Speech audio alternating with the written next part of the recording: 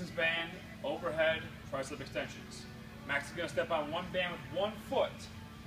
He's going to bring his other foot through so it's in front of his other foot. Now he's going to bring both, band, both hands of the band overhead.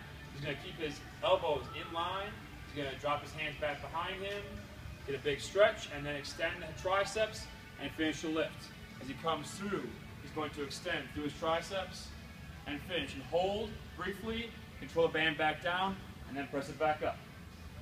Resistance band overhead, tricep extensions.